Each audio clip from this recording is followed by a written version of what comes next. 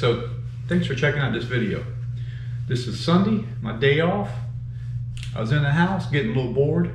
Thought I would come out in the garage, uncover the car, and check it out. It's something that I try to do as often as I can. Um, during the winter when these cars are put away for storage, you get mice, chipmunks trying to build their nest for the winter on these cars. I'm sure you, a lot of you guys have heard horror stories. Um, they chew up wiring. They, can just, they can really mess up your car. So um, I keep this car clean. I keep it covered up.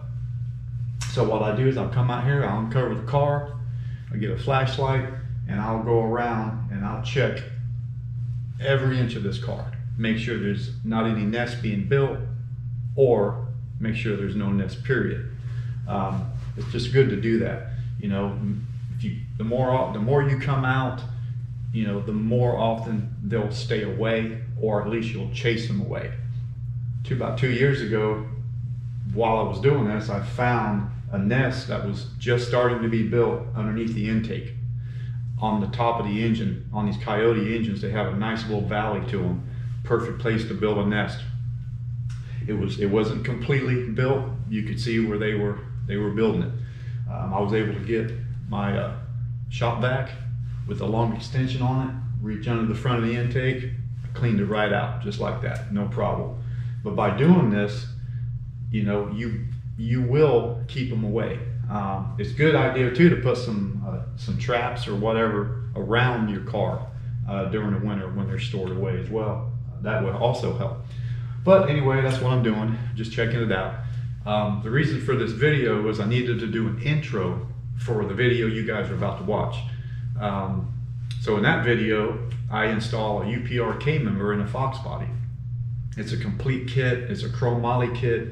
It comes with uh, the K member, the lower control arms, um, caster camber plates, bump steer kit, and coils. Uh, so really nice piece. Um, so we are a UPR dealer. If we can help you out any way, give us a call or message us. We'll be glad to help you out. So let's not waste any more time and get to the video. Welcome to the Savage Productions YouTube channel. Okay, I got the camera set up on a tripod here so you guys can see what's going on. Uh, so as you know, I've got the, uh, the strut bearing plate kind of snugged up on the bottom of this. So this, this kit comes with these spacers, right? So obviously this bracket goes up on the bottom. This is going to come down onto the strut tower. Well, you have to put these spacers on here so none of this rubs on it and that that's what gives you the ability to, to move this around. Now, in the instructions, they talk about, you know, where the spacers go, where the, you've got the, the, the nuts that actually, you know, would sit on here. Doesn't even show washers in here, but it does come with some washers. So on what I like to do, you can pretty much put these washers either on the top, you know, where, so when you tighten these down, you know, they won't damage it.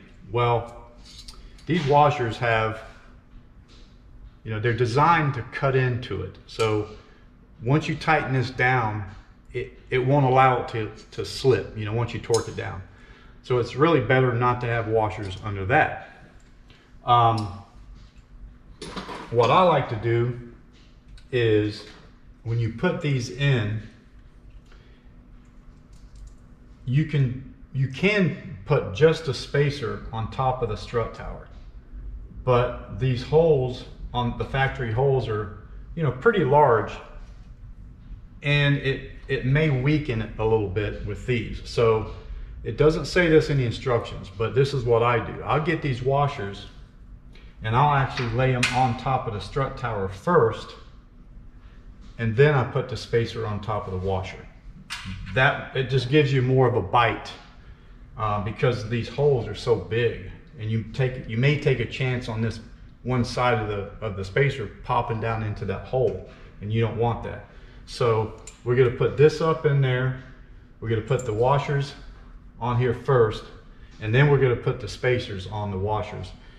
Then this will sit down on it, and then we'll put the locking bolts. That's basically what these are, or locking nuts. That's what these are, okay?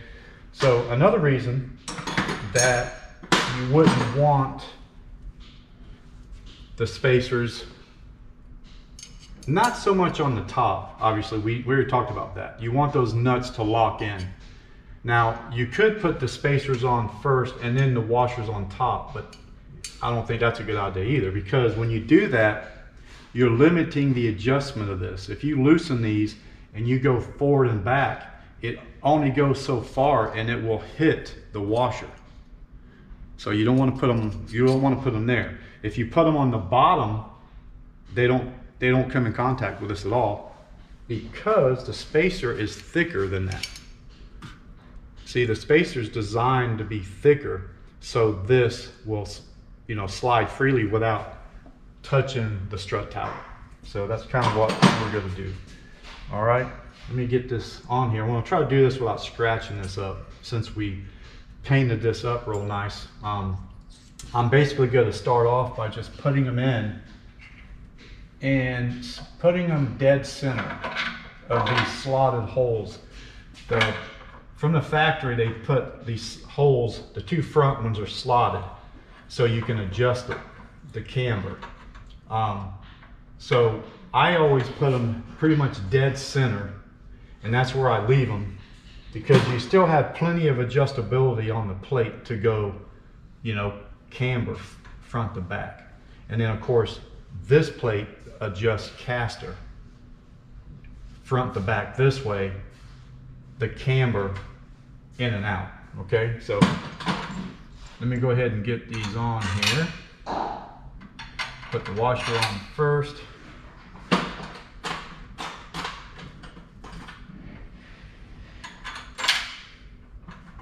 It's a whole lot easier doing this with the, uh, the camber out for sure.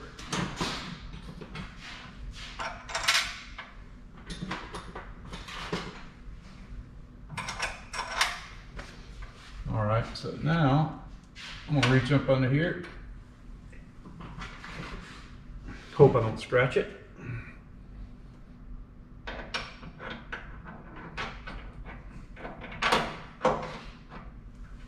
Oh yeah, that's nice. It's not touching it at all. I'm gonna just snug this up a little bit.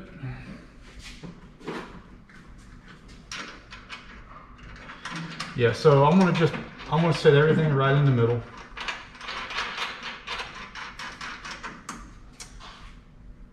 So I wanna keep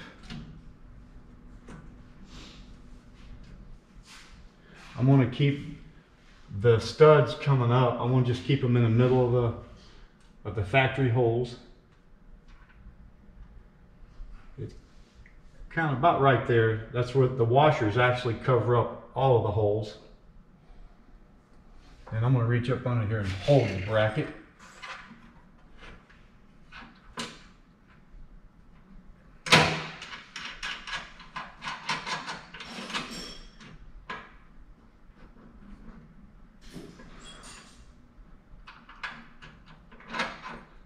So I'm gonna do that a little bit more.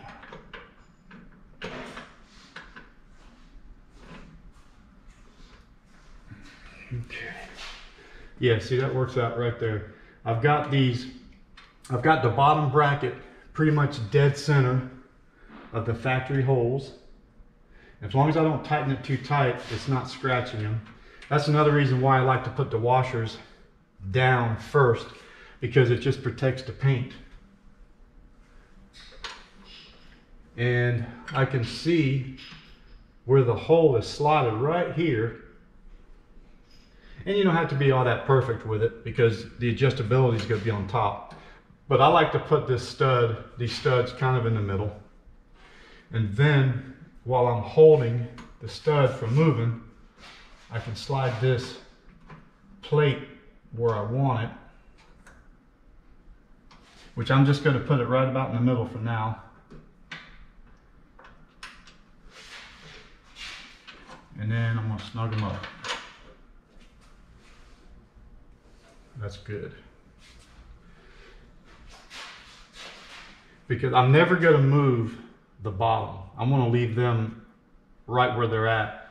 Um, when I do a, when I do the final alignment on this thing. Once we get it completely done, get the engine in, get all the weight on the car, then we'll get the uh, we'll set the camber. I've got a camber gauge. Um, we'll go ahead. We'll set the caster as well. Uh, what I normally do on these is um, from the factory, the the caster is set from the factory. There's not really any adjustment forward to back on caster there is, you know, for camber in and out. So what I do is I measure the dead center of the strut before we pull it out. I'll put a, um, I'll measure dead center of the strut and then I'll measure back here. I'll measure somewhere. I'll just pick a spot. I mean, you can even measure to the front, wherever you want to do it.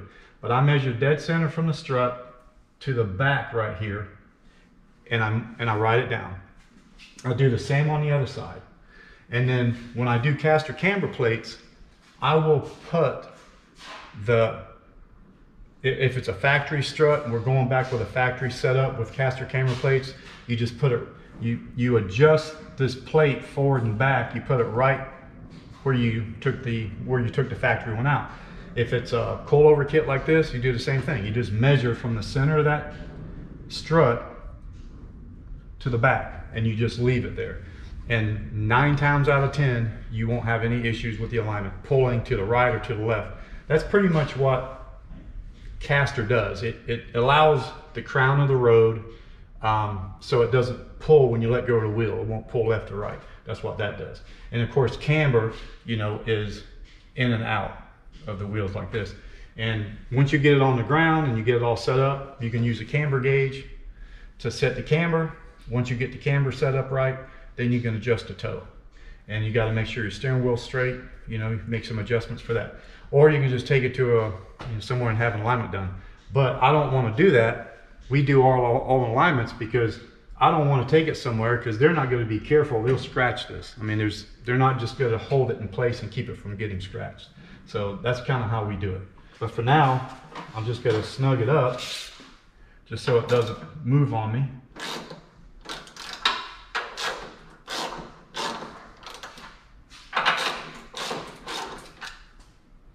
like I got them in the middle, you know, I just got them in the middle for now. And we'll go ahead and snug it up because once I snug it up, I'm sure these washers are going to make an impression into the paint. And then that will allow me to put them right back where I want them when we do the final alignment. I'm gonna go ahead and kind of snug them up a little bit more. I'm not torquing them all the way down but I'm gonna snug them up enough where they don't move because I do the when I put the coilovers in, I don't I want to make sure these things don't move. I don't want to scratch the paint up. That's the thing. And I'm gonna go ahead and snug these up a little bit.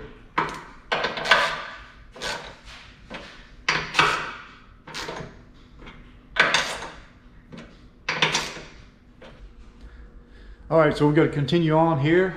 I've got the uh, caster camber plates installed. So let me show you what they look like close up. So I've got these kind of centered up, um, like I talked about before, especially on the bottom where it touches the strut tower. These the original uh, holes are slotted, and I I try to get these pretty much in the in the center. And then for now, I'm just putting these in the center. I've got these kicked back just a little bit, you know, for the caster setting, but those will be moved um, later. Once I get the car on the ground, get the engine in, get all the weight on the front, then I'm going to adjust the caster by measuring to the back like I talked about before. Um, I've already got a measurement from before we start taking it apart. I'm gonna just put it right back in that same location. then all we got to worry about is adjusting camber, you know, to get the alignment right. And while I'm adjusting this plate, I'm going to keep these studs in the same spot. I don't want these to move on the tower. I just want these to move. And that can be a little tricky. And the reason I'm going to do that, I don't want to scratch up paint, of course. So also too, I noticed when I torqued these down, if you remember, um, this bolt barely stuck out the bottom here and was just trying to come in contact with the strut tower. And I don't want that. So um, I just have it loose right now. So what I want to do is I'm gonna um, get either a thicker washer for each one of these and most likely I'm gonna get stainless because I'm not sure if these are stainless and I don't want them to rust. Um, I think they're zinc coated. But anyway, I'm gonna get them either uh, thicker or I'm gonna do two of them. On this side, I just took the one out and I doubled them. And I got this one tight and it doesn't come in contact with the, uh, I don't know if you can see it under there.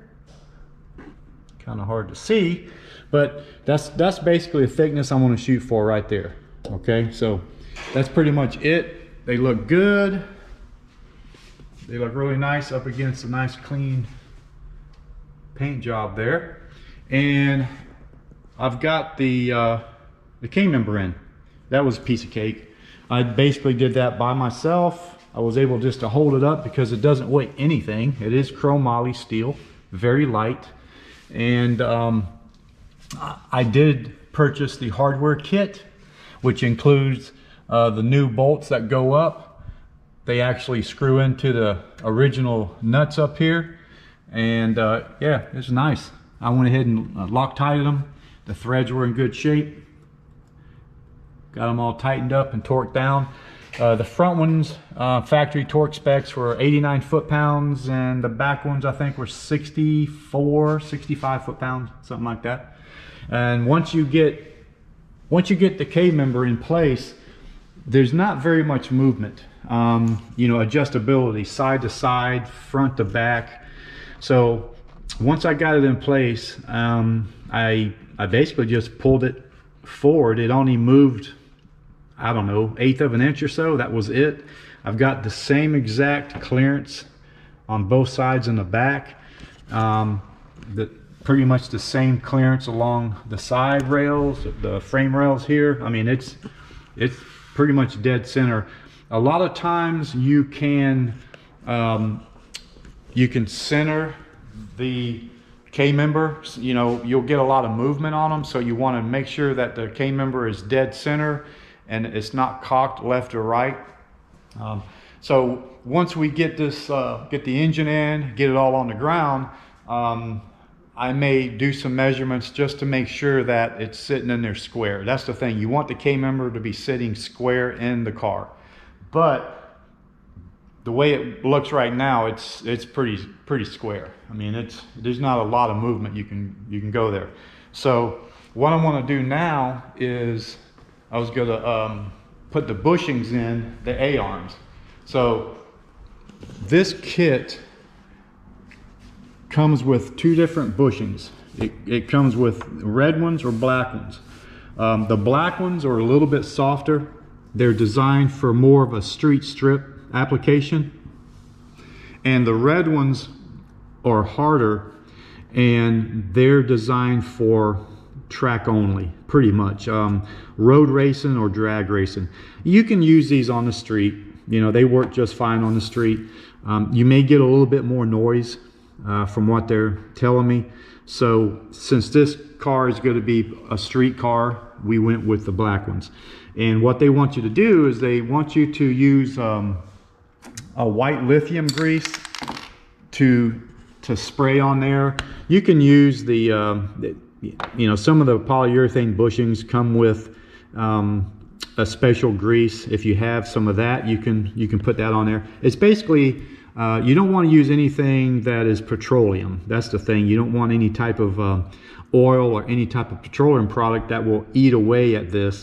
That's why they recommend doing some uh, lithium grease. It works good, it sprays, it makes it nice and slick, and um, that's pretty much it. So I've got these all sprayed and lubed up, and I'm just gonna put them in. So I'm gonna go ahead and put these in. It does come with um, uh, two sets of uh, spacers and they're obviously one's longer than the other. So you wanna make sure you put the right one in. You can out, you know, if you put the wrong, if you put the spacer in the wrong one, you can tab it back out, it's not a big deal. But, so this one here is the longer one and then this one is the shorter one. Real simple. Got these lubed up. They actually slide right in. You really don't have to beat them in or anything, especially after you spray them with lithium grease.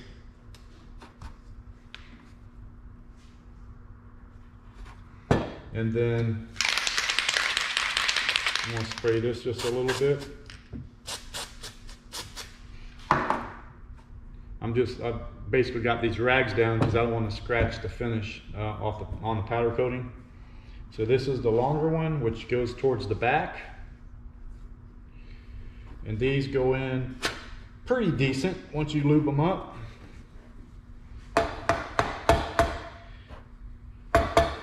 I'm just keeping my hand over the bushing so they don't come back out.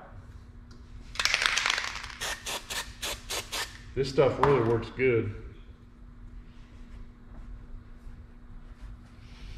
It goes right in.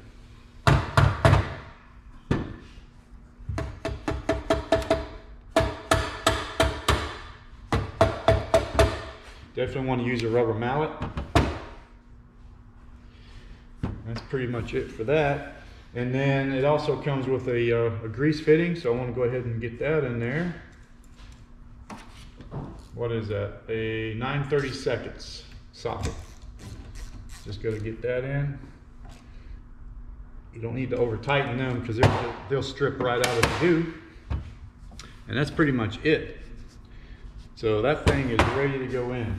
Um, once I get these A-arms on, I will clean it up because I've got some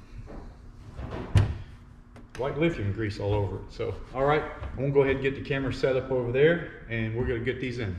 Okay, I've got the uh, A-arms ready to go on. I got one laying on the ground right here.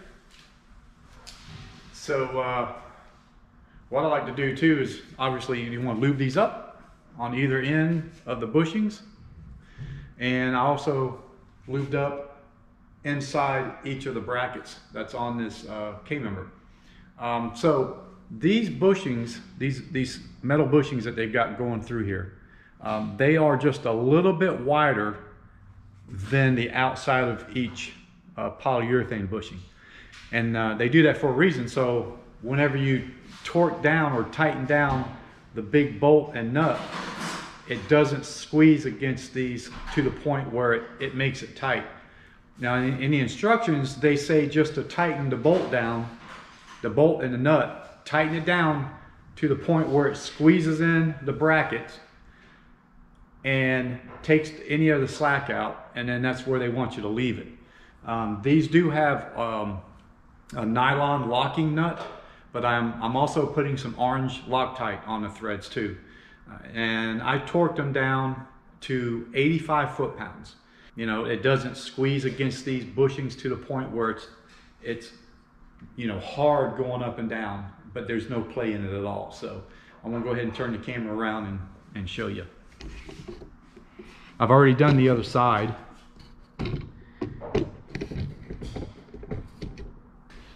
So I got, I got the inside of these brackets sprayed with uh, white lithium and the outside of these bushings.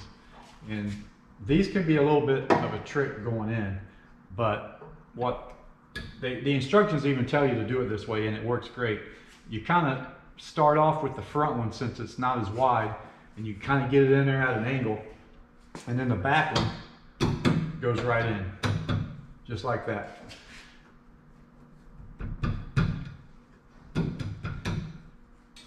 So these are these are a, a metric um, 10.9 you know strength they're very strong you could torque these down to 100 foot-pounds or whatever but taking these down to about uh, I could see that they started squeezing together and they didn't move anymore. They were already against the metal sleeve or the metal uh, bushing, if you want to call it that, inside the polyurethane bushing.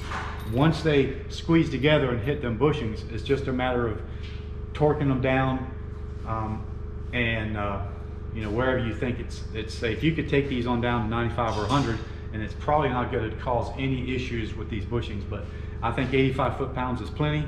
Um, it is a nylon locking nut but I'm also going to put some orange Loctite. So this one here looks like it's on the back it's lined up pretty well. They're these are both the same length, even though these are wider than that, so it doesn't really matter. They want you to put them in from the inside out. Now that I got that one, I can get this one going in.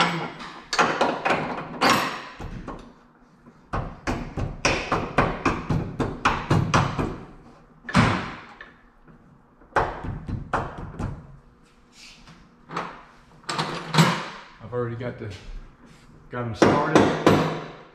I don't want to mess the threads up. I'll just kind of rock it back and forth. And I've been using this orange Loctite a lot instead of the blue. It's high strength, but it's removable. It's um, it's not like the red Loctite where you almost you have to heat the bolt up. Uh, this stuff, you know, it does remove once it breaks loose, but it's very strong. So I'm just going to put this on just for a little extra, um, just a little extra safety. I mean, these things, once you torque them down, they're not going anywhere, but it's not going to hurt, right?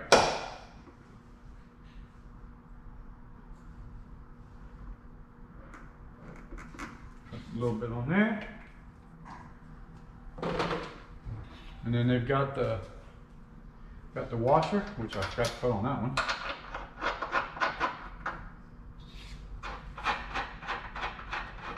Don't want to forget the washer. It's good to have it on there. That way it won't gall up the powder coating when you tighten these down.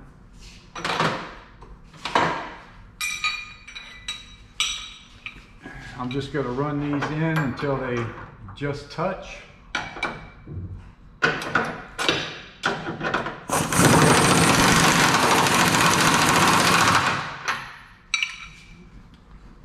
And then I'm going to torque them down with my torque wrench.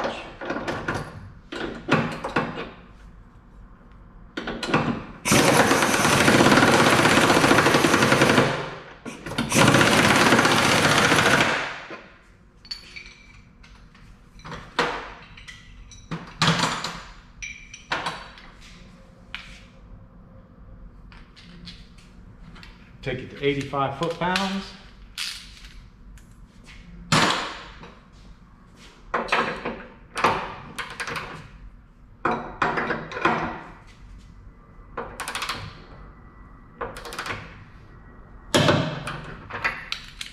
And just check it. See, it's nice and free, no binding up, and everything looks nice and straight, and there's no gaps at all. Let's go ahead and do this one.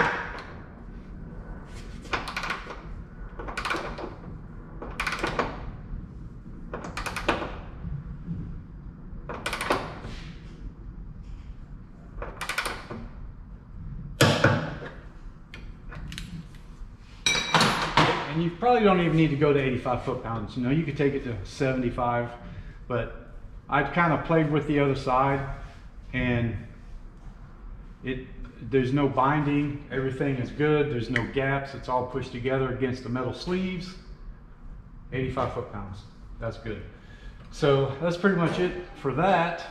Um, next thing is I'm gonna go ahead and assemble the the coilover strut. I want to get that kind of assembled up and um, go ahead and get them attached to the caster camber plate. So everything's uh, put together. I've got it attached to the camber plate and it's hanging. And then at that point, I'm to put the spindle on. It's just going to be easier than to do that rather than put the spindle on first and then putting that up in there. So I'm going to get that stuck up in there and then um, we'll get the spindle on and we'll be able to put the tires on it and get it on the ground. Okay, we're gonna move right along. Um, I was gonna go over how to put these coilovers on the struts. Uh, these these are really simple. You know, they, this will actually work on a stock replacement strut as well. Um, the kit, you know, comes with the the threaded tube um, for the adjustment, and you definitely want to uh, put some anti-seize on the threads. Uh, it actually tells you in the instructions to do that, or it voids the warranty.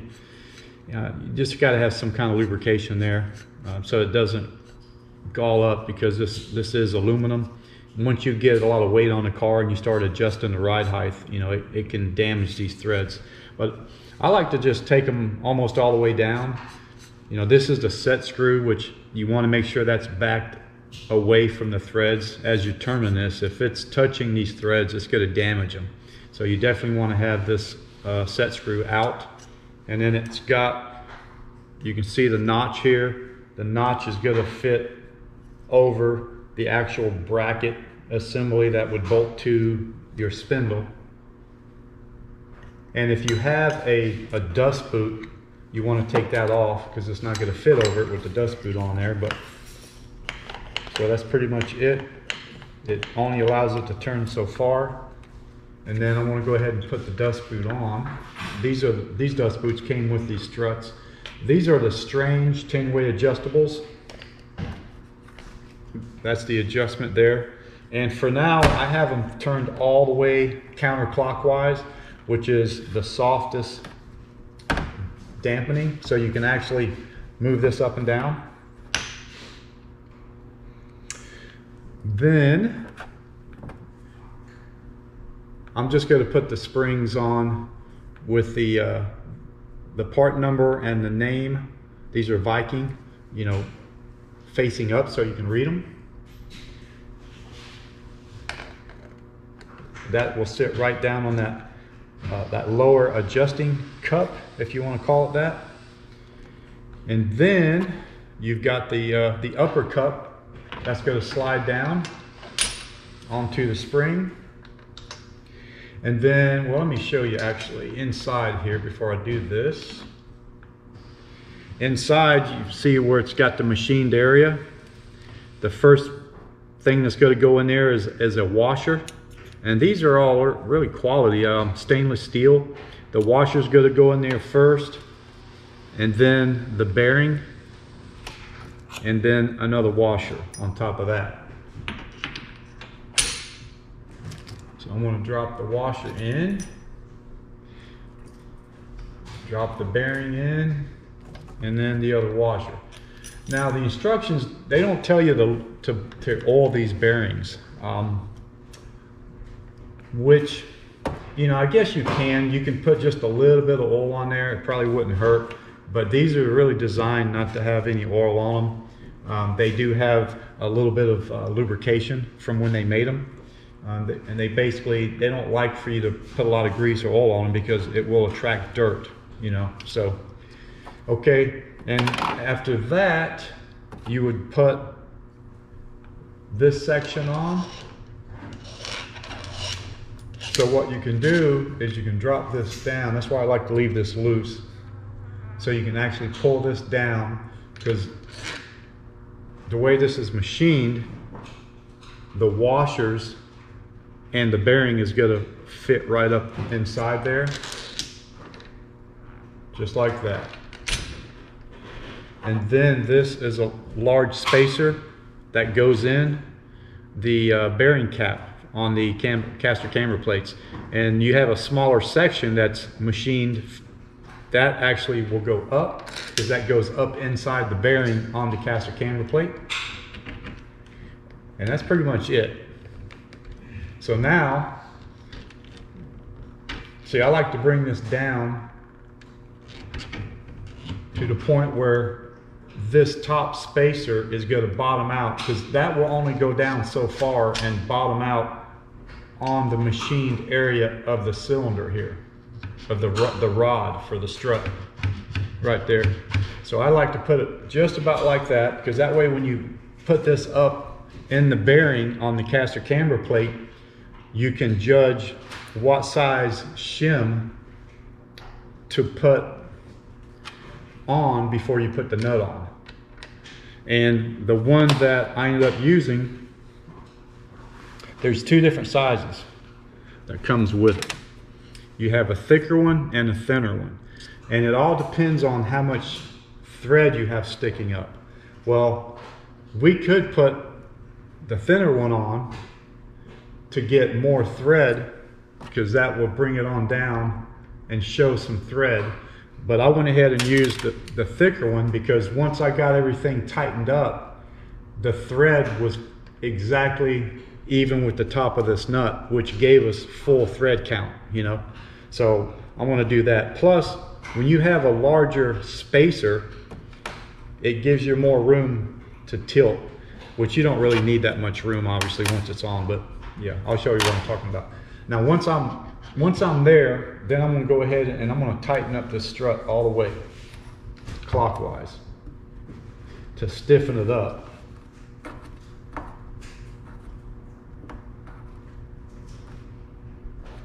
That way, it'll make it hard for the uh, for the strut to move up or down while I'm putting up in the uh, caster camber plate to put the nut on.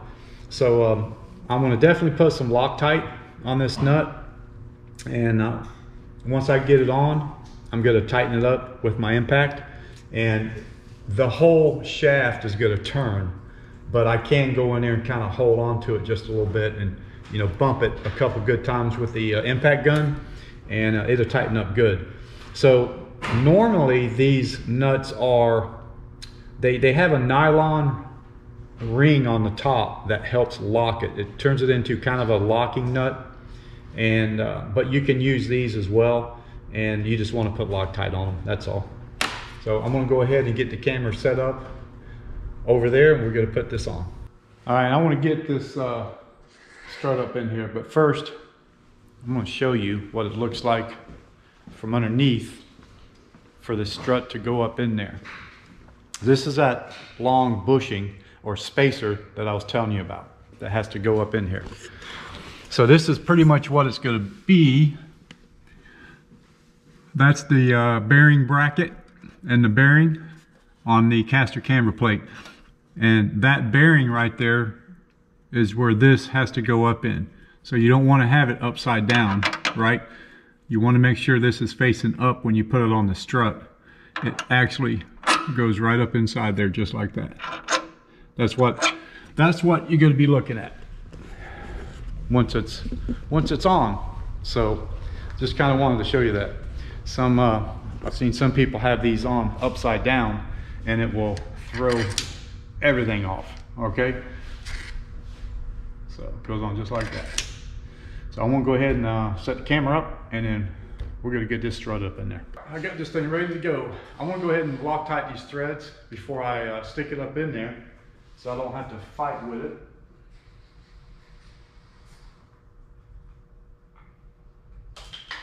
And I'm just using the orange. It's a high strength, but it is removable. You can use the blue, I guess, if you wanted to. I wouldn't really use the red. I guess you could use the red, but I'm just going to put a good amount on there.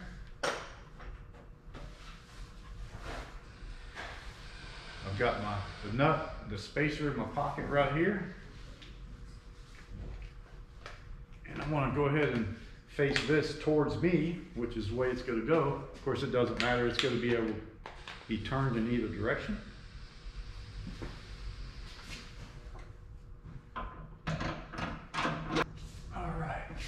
Get that up in there. Go ahead and put the spacer on. The one that I chose. Get this nut on here.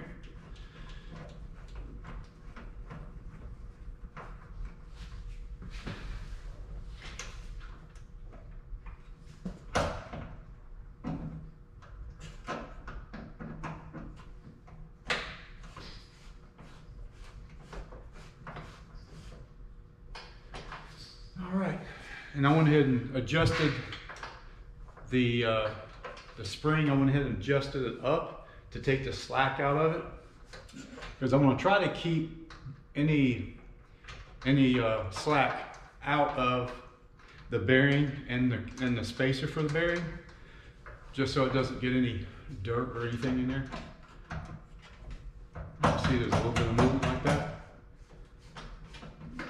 So if I tighten up the spring, it'll take that away.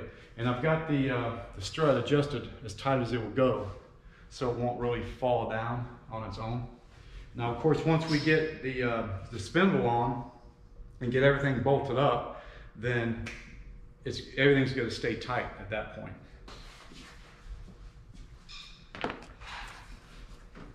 I'm gonna go ahead and uh, get this tightened up. While I'm holding on to it on the bottom side here.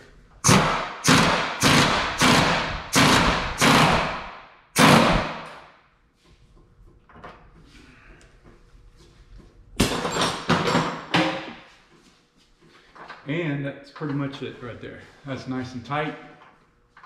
It was spinning as I was bumping it, but I was holding on to the actual shaft itself as tight as I could in between the springs.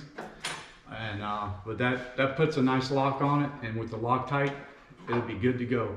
And I can you can see that the threads on the shaft are just barely peeking up above the nut here.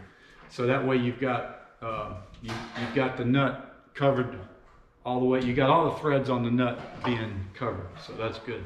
We could have went with the uh, thinner uh, spacer below that, and we would have had more threads showing. But as long as you got all the threads on the nut, you're good. And that's pretty much it. So I still got the adjustment where there's no slack in the bearing and it's ready for the spindle to go on. I got the uh, spindles on. I'm gonna go ahead and turn this around. A minute. It turned out really nice. I love the way it looks. I like the color of the powder coating that they use on um, their products. You see, this one takes a sway bar, which I haven't put the sway bar on yet. We're gonna do that later. But uh, and it turned out really nice. Put a brand new rack and pinion on it, just a factory replacement rack and bump steer kit. This bump steer kit came with all of this from UPR. Strange adjustable struts, Viking coilovers. Yeah, this is cool. I only set this up, this bump steer, I just got it set up like this for now. Um, we're gonna wait, obviously, until we get this thing completely finished up with the engine dropped in, all the other components, accessories, and everything, so we can get full weight on the car, get the um, the adjustment set up for the ride height, and then once we do that, we'll uh, we'll set the the bump steer. We'll get it all set up right. So I went ahead and just put the factory brakes back on. Um, we're using factory spindles on this one, obviously.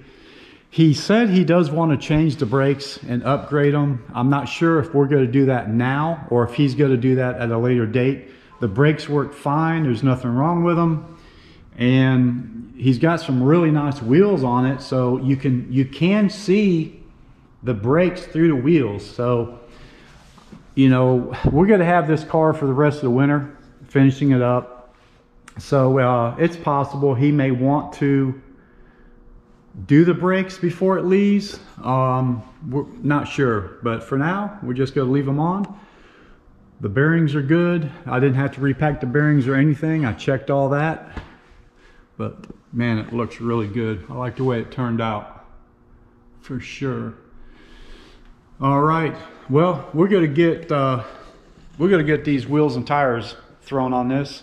So I'm gonna go ahead and end this video. Appreciate you guys like always. I appreciate it checking it out. And um, you know, be on the lookout for this one. We already started a video on this car right here.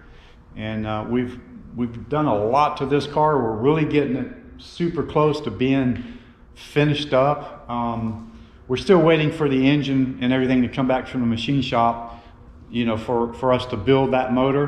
But all the other problems that this car had, really close to being done. We still got some stuff to do on it, but for the most part, we're, we're getting close. But look out, look out for the video on that one. Um, we gotta have a video on that car too. So, but I, I do appreciate it. You know, uh, leave some comments if you'd like. Um, you know, give us a thumbs up, thumbs down, whatever you think. And uh, if you haven't subscribed, consider subscribing to the channel. You know, appreciate it. Don't forget to hit the notification bell for some new videos coming out. We're going to have some more videos on this car too. Uh, we still got some work to do on it. We, we're doing a fuel system on it, so we'll do some video putting the fuel system in. We're going to have some video on the engine. This is going to be one sweet engine, let me tell you. So be on the lookout for that. I do appreciate it, like always, and we will catch you on the next video.